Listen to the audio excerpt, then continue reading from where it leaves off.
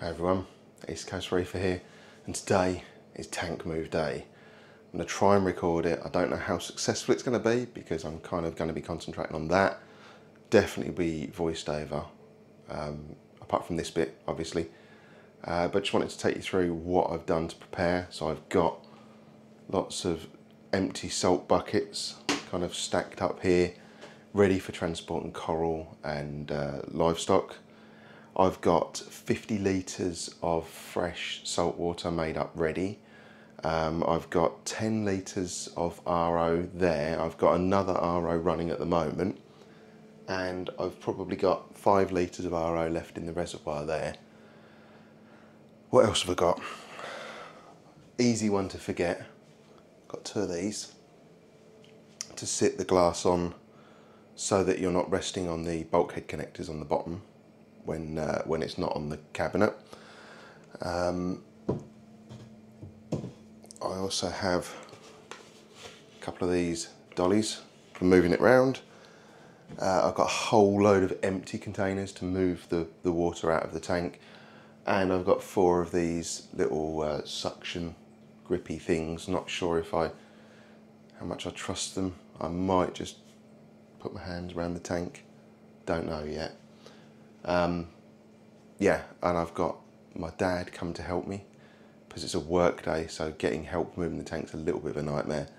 Um, I think that's about it. So what I'll do now is I'll put the mic down and then I'll start shutting down this tank, filling, oh, that was the other thing, this massive great container here. Um, Lee, the one-armed reefer, shout out to Lee, recommended these to me. I think it was 80 pounds. It's like 200 litre food safe water container thing.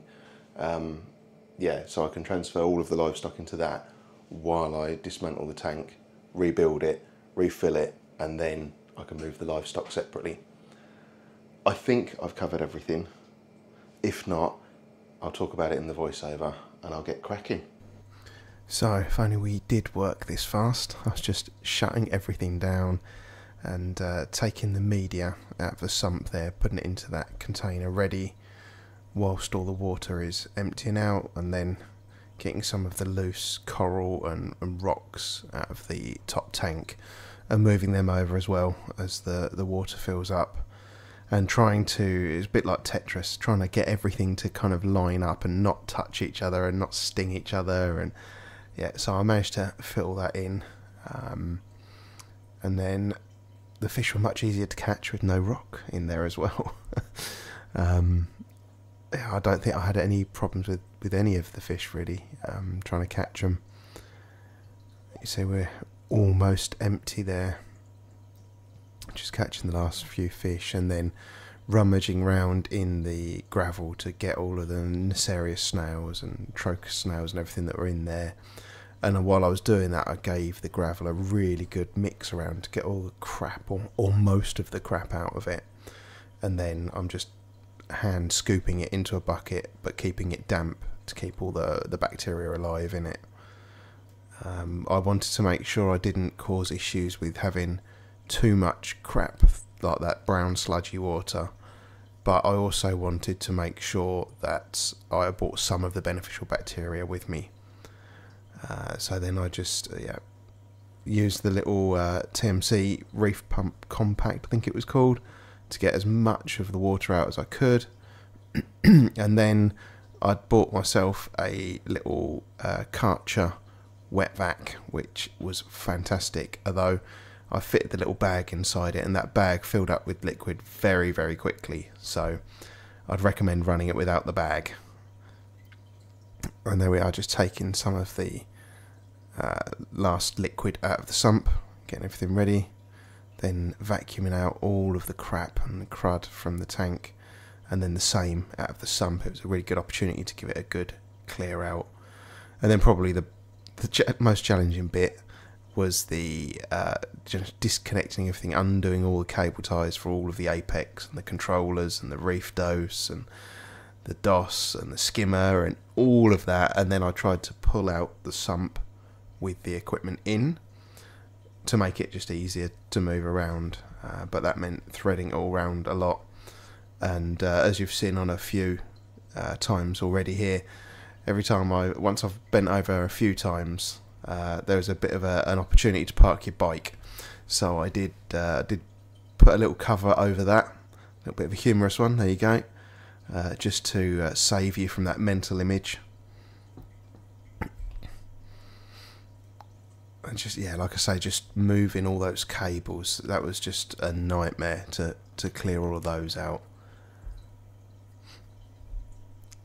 And then we're we're kind of getting to the point where the tank's pretty much disconnected. Uh, I left the two Neros stuck on the side, and we moved the tank out a bit, and I had to hoover out the weir box at the back.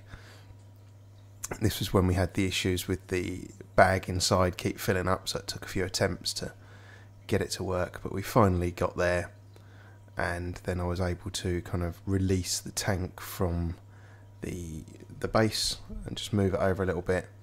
I'd already set the pieces of wood in the back of my car to to balance them on so it wasn't resting on the bulkhead connector. And then we just took the cabinet out as well. And then here we are doing it all in reverse basically, setting up where I am now and uh, yeah, bringing in all the water because I decanted as much of the water as I could. I think I threw out 25 litres of water. And then it's just a case of threading it all back up. And because this was the day before we moved and the, the, they were kind enough to let us move all this in early, I had to just get it in and operational. I didn't have Wi Fi, so I couldn't get the Apex connected or anything like that. But I got it basically working. And one of the things I really noticed, and probably people have asked me what I would do differently, this is probably one of the biggest ones, um, is keeping the water warmer. You see, they're probably one of the most critical steps of setting up a tank, making sure the thing's level. Um, so yeah, I I put some water in it to make it settle a little bit, made sure it was all level, and then yeah, put some more water in, and started to put rock and coral and and everything in. Um, and at this point, this is when I noticed that my hands are getting quite cold doing this, so the water must be pretty cold. So I had to dig out the heater and hook that in. And uh, yeah, here we are with it, it pretty much up and running now. I was just checking for leaks here. And then this is it two hours later. The previous owner sent me this footage to show me how it was settling in. And here we are. It's all set in. It's been two weeks, near two weeks tomorrow, since we got the keys and, and moved in. Um, had a lot of challenges that set me back a little bit, but the tank's in. It's looking fantastic. Um, everything is is looking pretty healthy. You know, the Duncan's probably looking better than it ever has. That fish is going in the fish trap hopefully sometime soon because it's eating my gonny and my um, button scollies. Uh, what we got? We got my tracky there. You can see the gonnies. That one there. It's been munching on. That one over the back. Um, if clownfish gets out of the way, that one over the back has been munched on quite a bit. The others are okay. Uh, now this Alveopora, this is how I noticed because it was out lovely. It was really extended, and then every now and then I'd look and it all of the polyps would be completely in, and uh, it got me wondering what was going on. Why was it like that? And then I caught that fella having a nip at them. So yeah, he's he's going to go and find a new home. Uh, what else have we got going on here? I've, I've mounted uh, one of the old acans that I was growing out. I kept the, the last bit of it. And then there's uh, another uh, acorn, acan I got from Reef Exotics over the back there. Uh, I got my Lepto, that's, that's looking alright. Um, got a Miyagi Tort and a gold cup, AAC gold cup I think it's called, um, next to the Bali slimer strawberry shortcake's coming out quite nicely. Um, this random one at the back that Matt gave me a frag of, um, it's actually looking like it might be my Aggie Tort as well. Now it's starting to colour up. Um, getting control of the nutrients a little bit more in this tank as well now. Then my kind of Euphyllia garden at the back there, that's, that's looking quite nice. The torches are looking good. Uh, the mushrooms are coming out a lot, and this Lobo is surviving. It's got some damage that was on it that I didn't notice when I first got it. That's starting to heal up now. And then I've got a couple of button scollies here.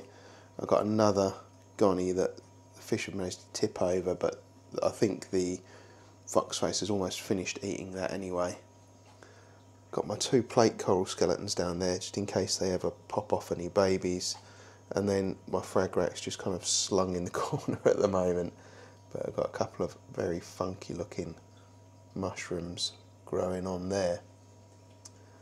Um, I think as for fish, everything's pretty as it was before, with the exception of my tamarin wrasse.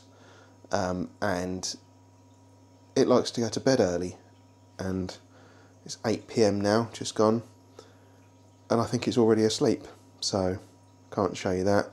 Have noticed the um, mandarin, that's what it is. The mandarin has uh, been out a lot more just recently, and then you can see the oh, Seriatopora caliendrum has almost completely finished migrating the zooxanthellae to the tips and is now in the process of migrating the zooxanthellae into the sump. Um, I that was like the last one that um, was damaged in the end of the year bacterial bloom that I got. Um, it just was not happy and it's just gradually stripped more and more and more. It just amazes me that that strawberry shortcake next to it was completely fine. Strawberry shortcake, you know, renowned for being a little bit fragile. Seriatopora caliendrum, renowned, renowned for being quite hardy. And uh, yeah, they behaved in, in opposite ways. So, uh, what else have I got to report? Yes, I have my UV up and running now. Come on, lights, turn on. They're not going to turn on. So there's my little bracket that I made um, just to hold the, the UV upright so that the air, all the air bubbles come out and, and are forced out the end. Um, I think that's that's about all I've got here. Big shout out to Dave or just Dave for uh, giving me a, a, fleece roller to try. Um, he knows I'm a partial to an AliExpress knockoff, so giving those a try. Um, and the only other thing I'm doing at the moment is having arguments with my Trident. Uh, I was getting loads of test A fails. I'd stripped it all down, cleaned the lines, cleaned the manifold, the citric acid and everything, and, and now I'm just, I primed again, I'm now I'm getting test B failed, so I might have to clean the hoses on reagent B and prime that again see if I can get that up and running. Uh, bigger picture, longer term in this room. I don't know if I can get it all in, but if I kind of come around here, I've put the tank here. Um, my desk was, if you've been on some of the lives that I've been on, the Reefy AF and that, my desk was up against that wall.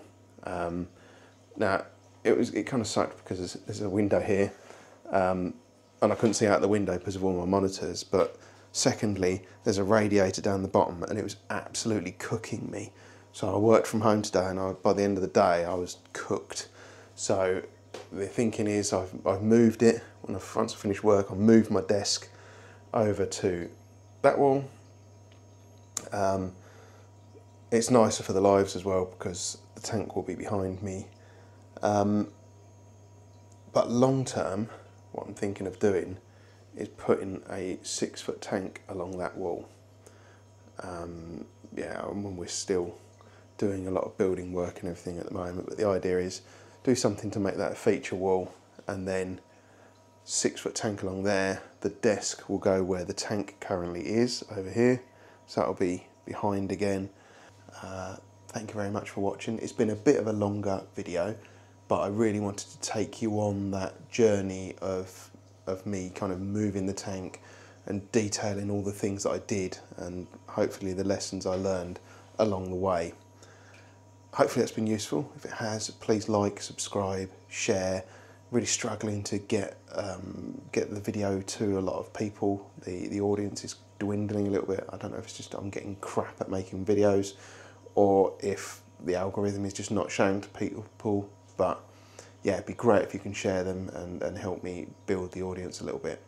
Thank you very much for watching, and I'll see you in another video really soon.